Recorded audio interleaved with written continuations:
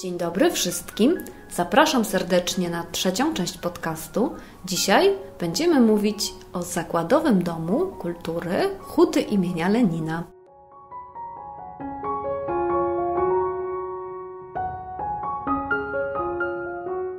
Zakładowy Dom Kultury Huty imienia Lenina powstał w 1955 roku, co jest tutaj dla nas bardzo istotne, ponieważ na ten rok e, przypada 65-lecie jego istnienia.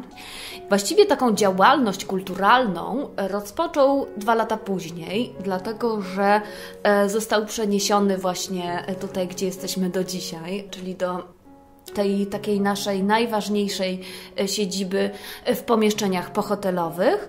Tutaj też zwracam się właśnie do uczniów, że poza głównym budynkiem musicie wiedzieć, czyli że poza tym budynkiem przy osiedlu Górali 5, gdzie jesteśmy do dzisiaj, mm, działały następujące filie Zakładowego Domu Kultury Huty imienia Lenina. E, najważniejsze wymieniam Ognisko Młodych ZMS na osiedlu Młodości, Ognisko Dziecięce przy osiedlu na Skarpie, Dom Młodego Hutnika na osiedlu Stalowym, Klub Hotelów Grębałowie oraz ognisko choreograficzno-muzyczne. I ponadto dodam, że Zakładowy Dom Kultury opiekował się 16 świetlicami, więc była to działalność bardzo taka ożywiona, intensywna i obecna właściwie w całej przestrzeni e, Nowej Huty. Co więcej, Zakładowy Dom Kultury miał taką aspirację, żeby właśnie docierać z ofertą kulturalną do wszystkich grup zainteresowanych, ale była to najbardziej taka działalność, bym powiedziała, skierowana do pracowników kombinatu, do tego jak hutnicy, jak osoby na co dzień tworzące środowisko kombinatu mogły odpocząć w sposób kulturalny, co oczywiście również przedkładało się na ich rodziny. Teraz chciałabym wymienić takie najważniejsze, jeżeli chodzi o Zakładowy Dom Kultury Huty imienia Lenina działania. I taką podstawową działalnością, którą właściwie no, my również dzisiaj kontynuujemy, to jest taka, taka podstawowa działalność Domu Kultury, to jest działalność oświatowa, popularyzatorska.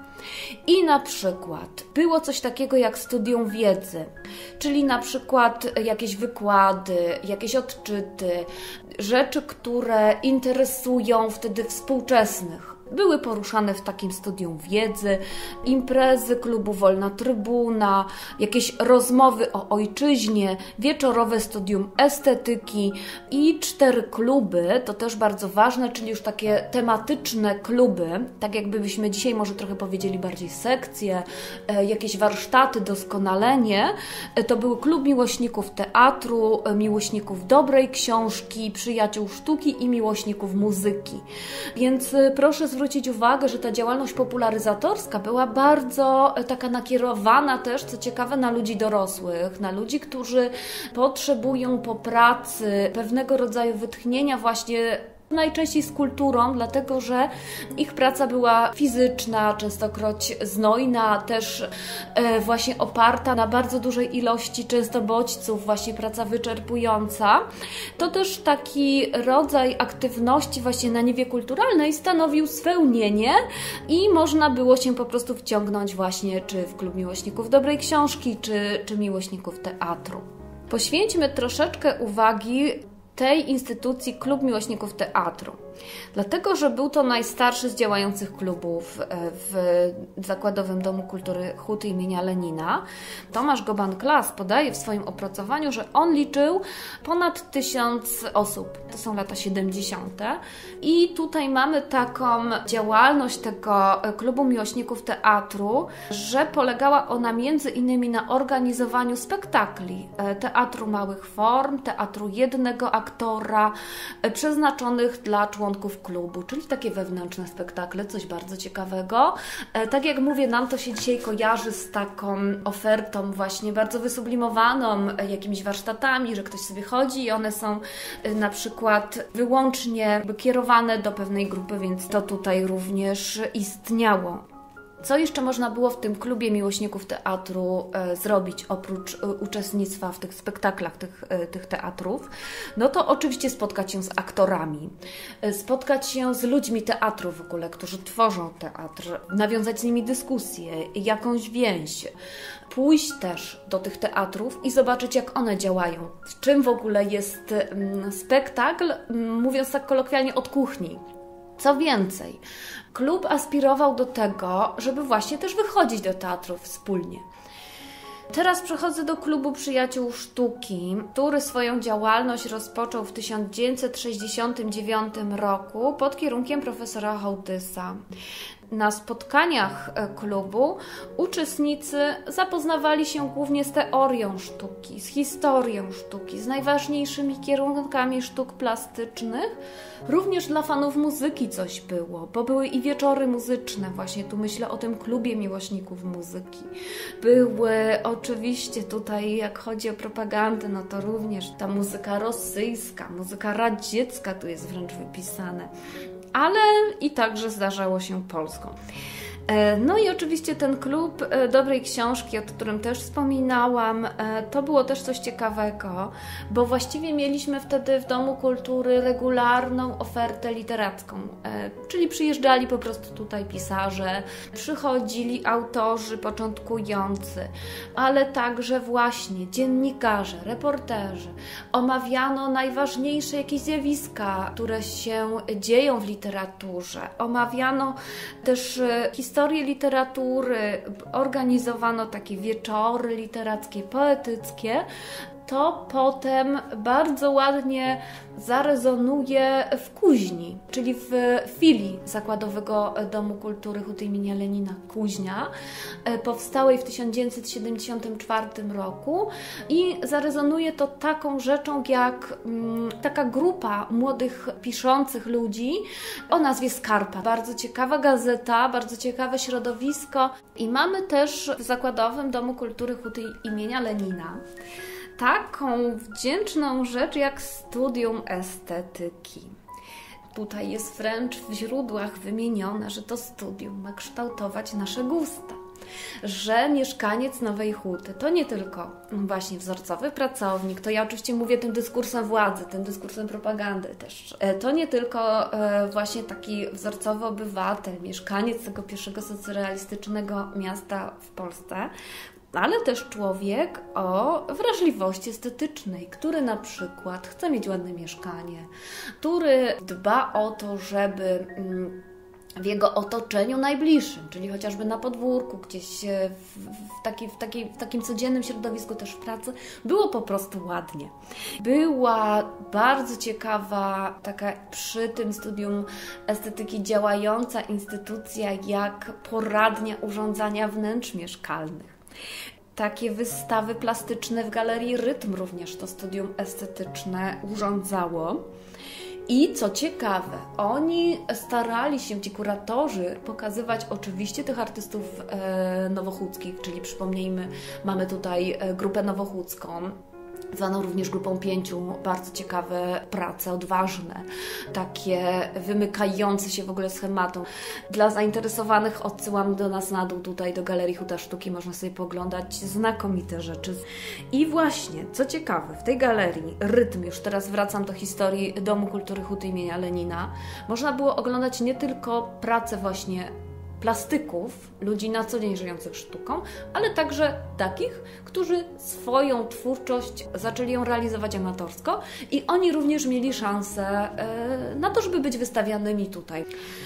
Były także w Domu Kultury kursy takie, oni to określali praktyczne, czyli jakieś radiotelewizyjne, nam się to wydaje dzisiaj niespotykane, że można mieć kłopot z tym, jak obsłużyć telewizor, radio, nie wiem, sprzęty odkurzacz, sprzęty użytkowania domowego, ogólnie rzeczy związane z prądem. A wtedy nie. Wtedy naprawdę, mm, tak co wspominałam również przy naszym podcaście, naszej rozmowie o kulturze kawiarnianej przy okazji omawiania kasyna huty imienia Lenina, to tam mówiłam o kawie, że takim wyzwaniem była kawa. Tak, tutaj dla nas wszystkich e, było często nawet powiązane z takimi zabobonami. Za chwilę wyjaśnię I Dom Kultury również wychodził e, naprzeciw tym obawom i organizował takie kursy. Kończąc tę dygresję o zabobonie, no to na przykład historia, którą mi opowiadała jedna z pań, e, która sobie kupiła odkurzacz w latach powiedzmy późnych 60. czy 70. jej sąsiadki stwierdziły, że ona ma diabła, że po prostu to jest diabeł, bo jak ona to włącza, to ten odkurzacz wył oczywiście, był bardzo głośny i że to nie jest sprzęt techniki. Jeżeli ktoś nie wiedział, na przykład no skąd się bierze prąd, skąd się biorą takie podstawowe prawa fizyki, no to mógł właśnie w ten sposób reagować.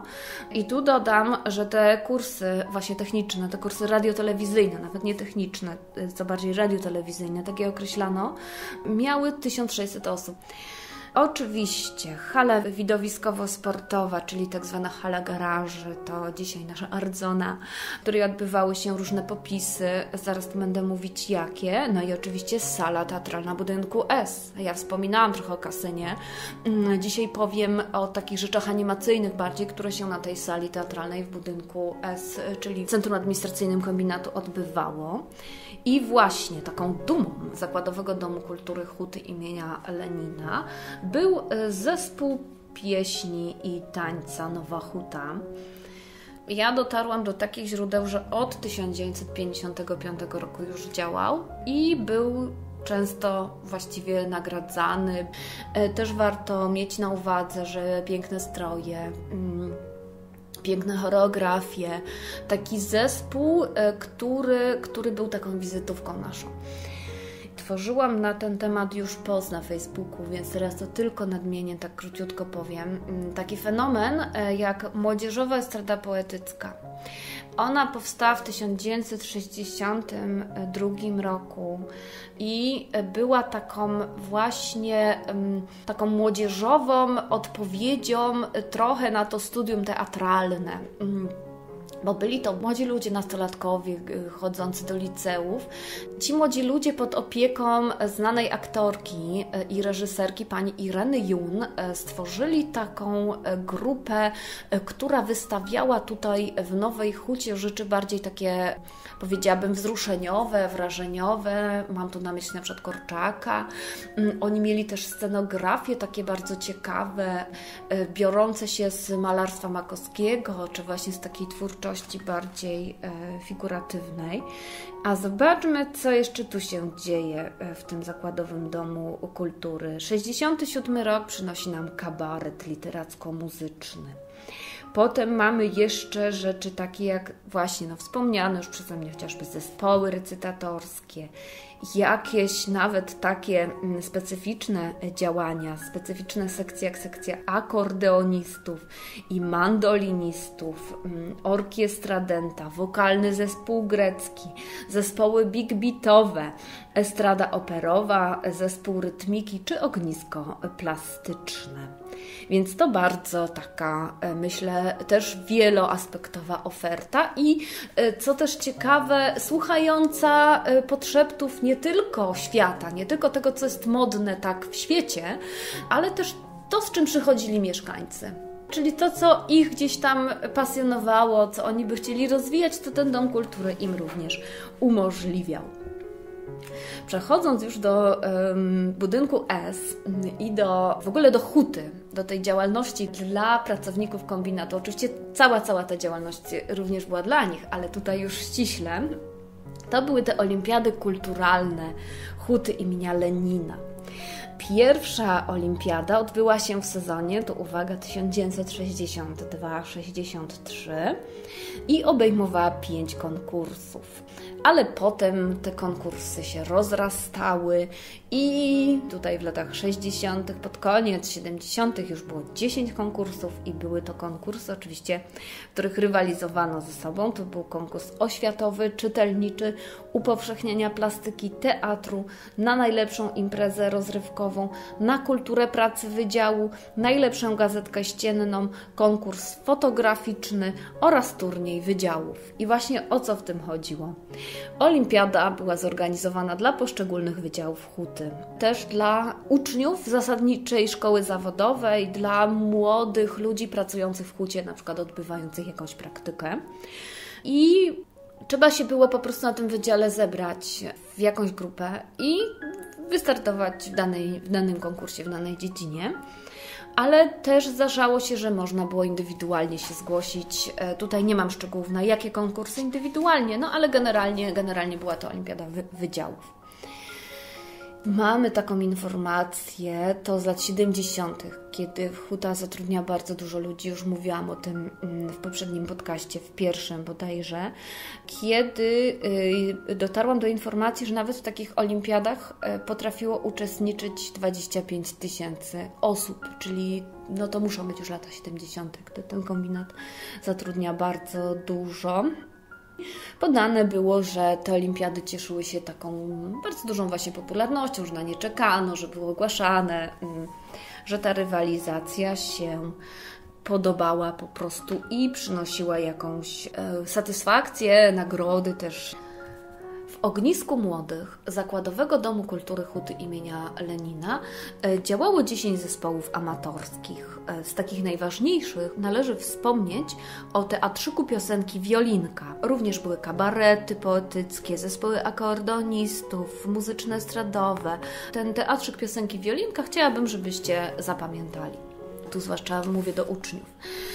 Mamy jeszcze Dom Młodego Hutnika na osiedlu Stalowym, wspominałam o nim. To również e, była nasza filia. I tam głównie odbywały się wystawy fotograficzne, plastyczne. E, również działał kabaret o ciekawym takim tytule Slab. Zespoły instrumentalne Synkopy i Tamci oraz e, wokalno-muzyczna grupa Chodaki. I na zakończenie e, chcę wspomnieć o jeszcze jednej filii. Ona działa do dzisiaj. E, jest bardzo ważnym miejscem na mapie Mistrzejowic z kolei i jest to e, klub Kuźnia na osiedlu Złotego Wieku, założony, to jest taki przełom lat 1973-1974. Kuźnia, która od początku swojej działalności weszła w bardzo ciekawe środowisko wielkiego osiedla, osiedla z wielkiej płyty, jakie wtedy zaczęły być modne. Kuźnia właśnie ze swoją ofertą kierowała się do mieszkańców tego nowego osiedla, e, do ich rodzin, do dzieci i co ważne, do młodzieży. Był to taki dom kultury, który wyrósł w czasach, gdy ta młodzież zaczyna być taką grupą, która dyktuje pewne mody. Dlatego w Kuźni powstawały takie rzeczy właśnie jak ta młodzieżowa grupa literacka Skarpa, jak oferta właśnie skierowana na e, młodzież, czyli pokazywanie chociażby sztuki abstrakcyjnej w Galerii M, pokazywanie po prostu nowych trendów, zapraszanie tej młodzieży. Od tego wystartowała e, Kuźnia. Mm, co ciekawe, również w Kuźni e, odbywały się już potem w latach 80. takie bardzo ciekawe imprezy Serce Roście. To nawiązanie do Jana Kochanowskiego, który ma swój pomnik mm, również e, w Mistrzejowicach, również w pobliżu Kuźni. Organizował te imprezy Pan Jerzy Ridan, e, znakomita postać, jeżeli chodzi o życie kulturalne w Nowej Hucie, przede wszystkim reżyser, ale też animator kultury, taki teatroman, człowiek o bardzo rozległych zainteresowaniach humanistycznych, e, więc on e, takie imprezy prowadził i na tym chyba bym chciała wyczerpać odczyt. Dziękuję serdecznie i powodzenia w dalszych rozgrywkach. Do widzenia.